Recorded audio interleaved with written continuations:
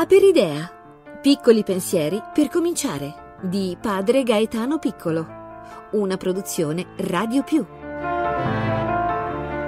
Chi è la persona? Quando vediamo un film o assistiamo a una rappresentazione teatrale, ci troviamo di fronte dei personaggi, ovvero delle maschere, delle rappresentazioni dietro le quali ci sono delle persone. Accadeva così anche nel mondo antico, ma in maniera inversa. Era proprio la maschera dentro cui risuonava la voce dell'attore a prendere il nome di persona, ciò che è attraversato dalla voce. Il rovesciamento di questa prospettiva, così come è giunto fino a noi, inizia con il cristianesimo, quando si avverte la necessità di distinguere nell'unico Dio tre soggetti che hanno funzioni diverse, sebbene uniti nella stessa natura divina. Il Dio dei cristiani viene così definito come una natura in tre persone, il Padre, il Figlio e lo Spirito. Da questo momento in poi la persona diventa il soggetto sostanziale, capace di azioni specifiche, dotato di una sua volontà e intelligenza. Per estensione, il termine persona viene attribuito così anche agli uomini, in quanto creati a immagine e somiglianza di Dio. L'uomo, che ha una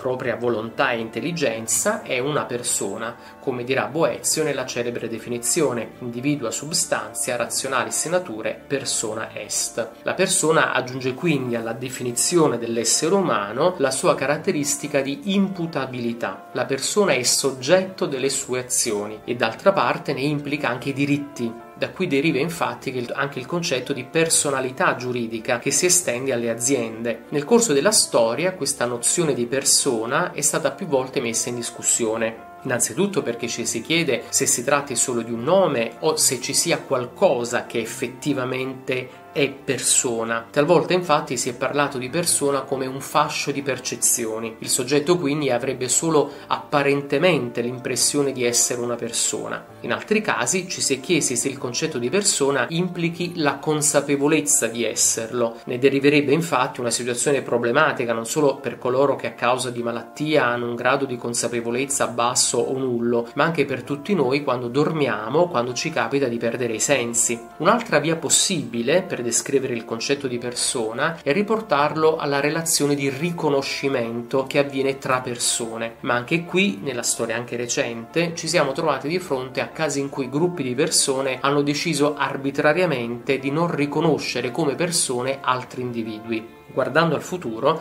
sarà ancora più problematico quando avremo individui cyborg o completamente non umani, dotati però di volontà e intelligenza propri. La difficoltà di definire il concetto di persona ci porta a pensare che probabilmente la questione non è la definizione, ma ciò che la tradizione filosofica desiderava inizialmente salvaguardare con questo termine. L'obiettivo era quello di difendere i diritti dell'essere umano, soprattutto dei più deboli, da ogni tentativo di manipolazione o discriminazione. Come possiamo continuare a riflettere su questo tema? Possiamo dire così, osservando l'uso del termine persona nel linguaggio ordinario, ti sembra che aggiunga qualche elemento al concetto di essere umano? E quali sono secondo te le caratteristiche imprescindibili della persona?